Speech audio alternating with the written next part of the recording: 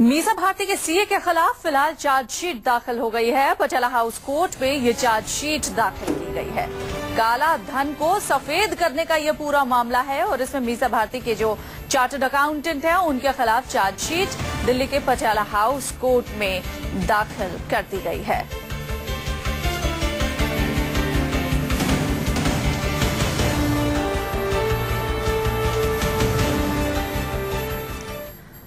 तो इसी के साथ इस बुलेटिन में इतना ही। एक छोटे से ब्रेक के बाद भी खबरों का सिलसिला जारी है। आप देखते रहिए न्यूज़ 24